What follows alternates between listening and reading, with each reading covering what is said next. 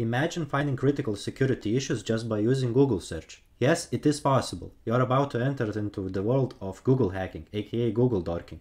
It's a secret method of many bug bounty hunters to get the top of the scoreboard. Stay tuned, since on this video we are going to elevate your search skills to legendary status.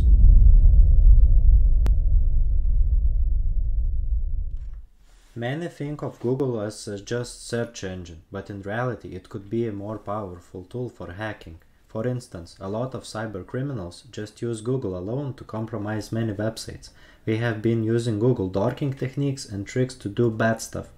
Of course, we are good people and we want to provide value for the companies to improve their security.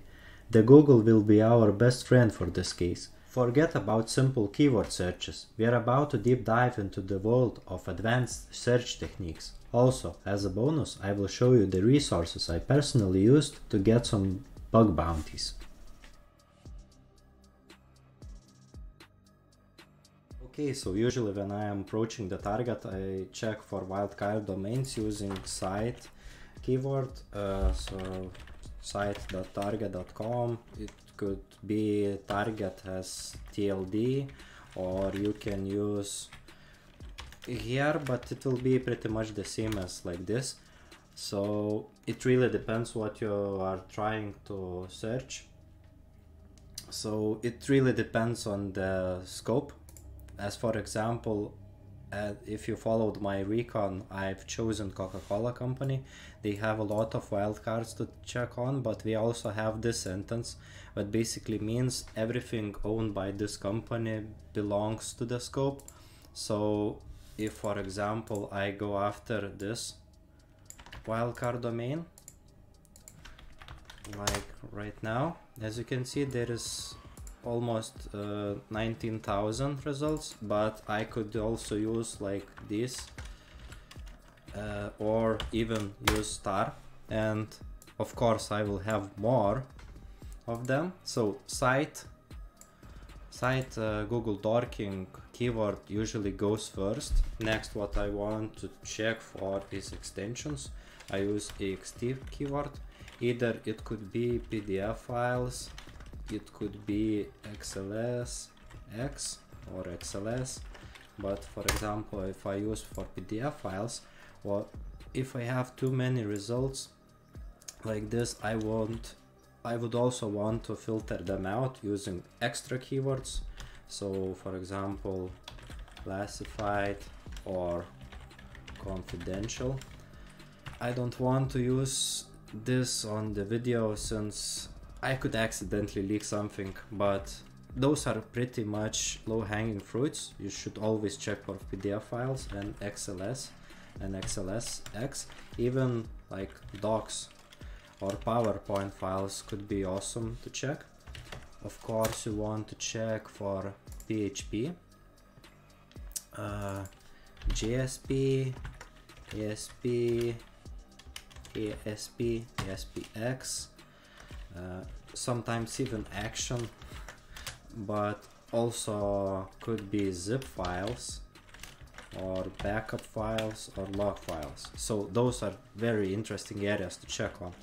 Other filtering keyword could be uh, used as like in URL and use double quotes if you including two words as a keyword uh, consider it as a string. So for example sites with index of but there is none of them. But sometimes if uh, the target is like huge huge huge uh, this one could work as well. Or uh, if target is not very tested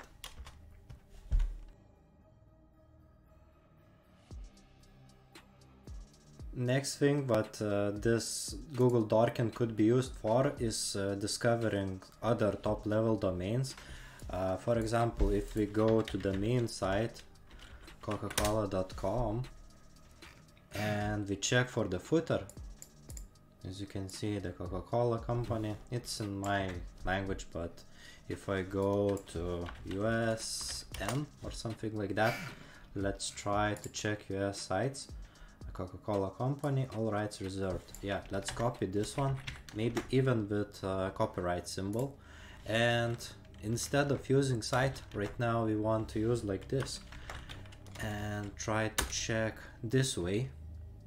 And you might find some extra one but as you can see Coca-Cola company is already in this one.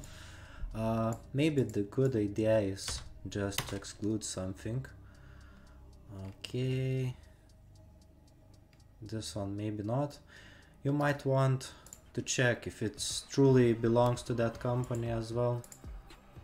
cokesolutions.com as you can see I excluded to 2024 so that's why this result have appeared.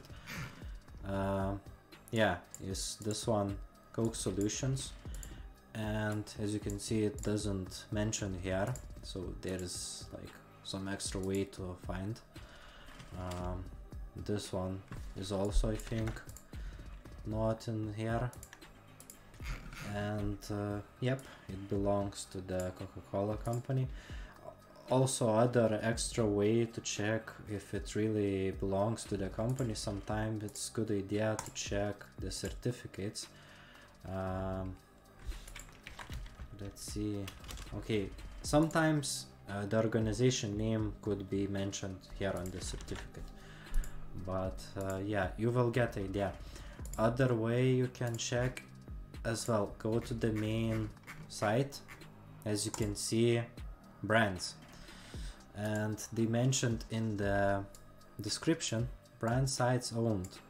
So go to the brands and check like every brand and check the links to that every brand so maybe maybe okay I want to check for Fanta. So let's see for Fanta. Let's try to check. Uh, maybe fanta.com or something like that. Yep and right now try site keyword. Yeah. As the new site when you collect a new wildcard domain as you can see the new footer is only also used so you can alternatively use this one as well. So do this a lot until you get like large scope of uh, top tier uh, domains. From that point on you can do subdomain enumeration other things what you also want to include is your uh, google dorking uh, so if you're like checking getting a lot of results and you want to exclude a lot of results from this one for example i want very old sites. You can use minus symbol and add keyword like this either with uh, double quotes or not but maybe exclude more like like this you will get pretty much all sides as you can see. It's pretty outdated site so those are usually pretty useful to check. Uh, other things what you also might want to check is register endpoints. It has register. Uh, you can use in URL for this but maybe without URL it will give more results. Uh, you might want to exclude www sites as well. Uh, other word is sign up. Sometimes you could also check for some more sensitive keywords like backup. Uh, sometimes it could be pretty stupid results like archive.org won't matter but maybe dashboard or admin just like showing you ideas.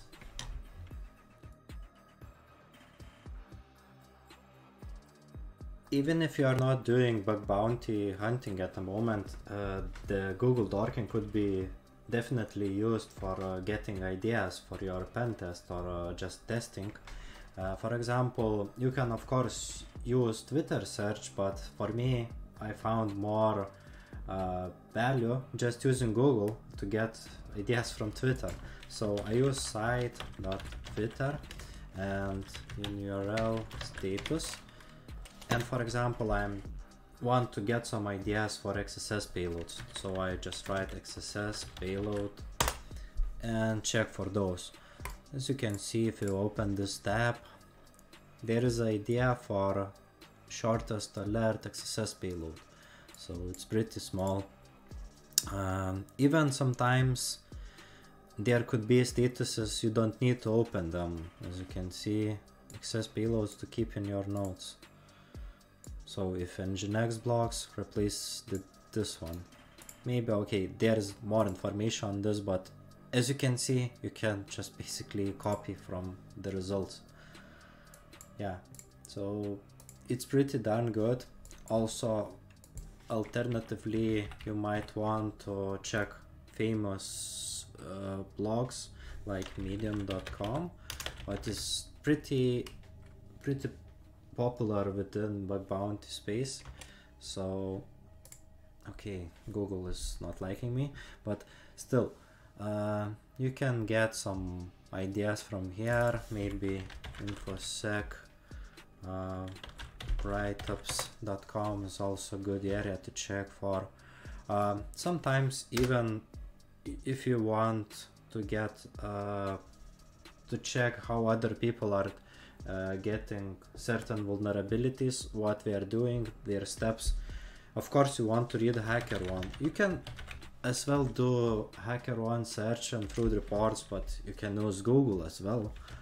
So in URL reports and check for XSS, for example, here as well. And check for stored XSS on here.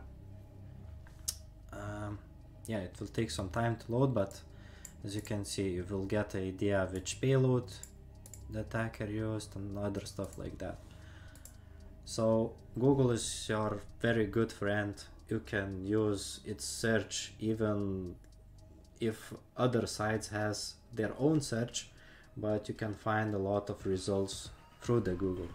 Uh, maybe other places, GitHub, and it's good for checking CVEs. So CV like this maybe use this. And you will get a lot of results and as you can see they are updated pretty pretty pretty fast.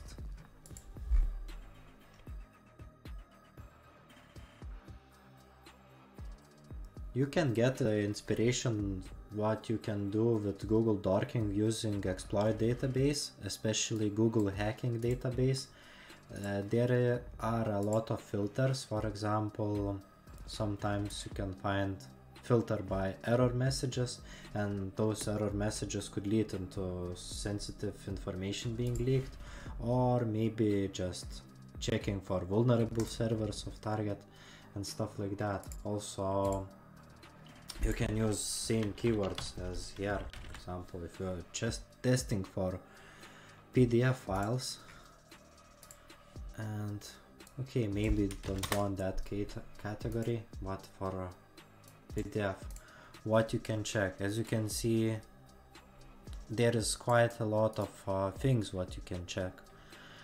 And yeah you can get a lot of inspiration using this database. Alternatively there is a github page. I highly recommend using this one since it's updated like every day almost as you can see yesterday um, for example you want to check backups logs configuration files grafana kibana like by the technology. You can do a lot of stuff even for xss only. As you can see it's filtering for uh, specific uh, parameters and checking if this end symbol appear so it's also pretty good idea to use in your Google Dorking.